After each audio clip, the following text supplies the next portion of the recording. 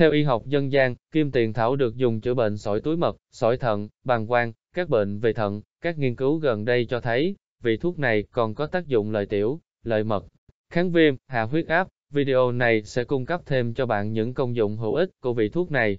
Kim tiền thảo còn được gọi là đồng tiền long, mắt trâu, vảy rồng, dây xăm lông, bươm bướm, cỏ đồng tiền vàng.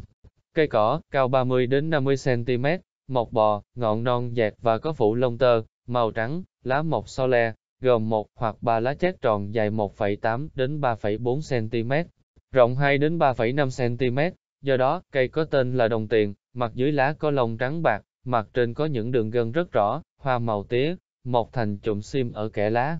Quả đậu nhỏ, giữa các hạt thắt lại, mùa hoa quả vào tháng 3 đến tháng 5.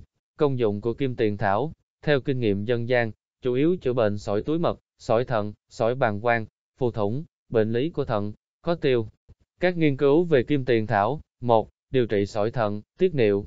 Tác dụng cơ chế điều trị bệnh sỏi thận, tiết niệu đã được nhiều nghiên cứu làm rõ, các nghiên cứu ở mức độ tế bào, trên động vật cũng như trên lâm sàng đều cho thấy lợi ích của kim tiền thảo đối với bệnh nhân.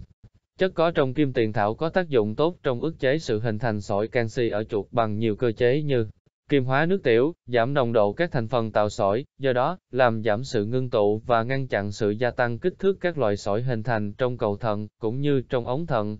Đồng thời, tác dụng lợi tiểu giúp tăng đào thải sỏi qua đường tiết niệu. Ngoài ra, nhờ vào tính chống oxy hóa, kháng viêm nên giảm viêm nhiễm đường tiết niệu, giảm phù nề của niệu quản, nó tạo điều kiện đào thải sỏi, giảm các triệu chứng tiểu buốt, tiểu lắc nhắc. 2. Sỏi túi mật, một số nghiên cứu đã ghi nhận tác dụng chống viêm, chống oxy hóa và tăng sự tiết mật, từ đó giúp giảm hình thành sỏi cholesterol trong túi mật. Tìm hiểu kỹ hơn về sỏi túi mật ở bài viết sỏi túi mật, điều trị và chế độ ăn uống và bài viết sỏi túi mật, nguyên nhân và triệu chứng. 3. Hạ huyết áp. Một nghiên cứu đã cho thấy dịch chiết kim tiền thảo có tác dụng ức chế hạch thần kinh tự chủ và hệ giao cảm, nhờ đó, nó làm giãn mạch, lợi tiểu giúp hạ huyết áp. Tóm lại, vị thuốc kim tiền thảo là giải pháp hiệu quả và an toàn cho người bị sỏi thận, sỏi đường tiết niệu, nhưng để việc điều trị có hiệu quả tốt nhất thì ngoài việc dùng thuốc, người bệnh nên có chế độ ăn uống, sinh hoạt lành mạnh. Hãy uống nhiều nước tinh khiết và tránh tiêu thụ quá mức thực phẩm như cà phê, sô-cô-la, cacao, trà, đại hoàng và một số thực phẩm thực vật khác để giảm sự tích tụ các thành phần tạo sỏi.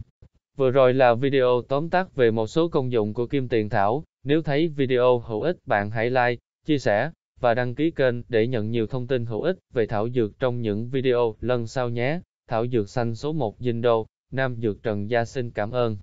Mua kim tiền thảo ở đâu, địa chỉ nào bán uy tín?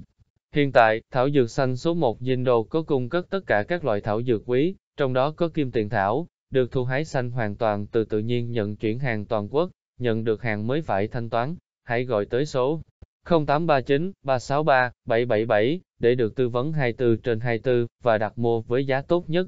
Liên hệ ngay với Thảo Dược Xanh số 1 sinu.vn để được tư vấn tốt nhất. Số điện thoại 0839 363 777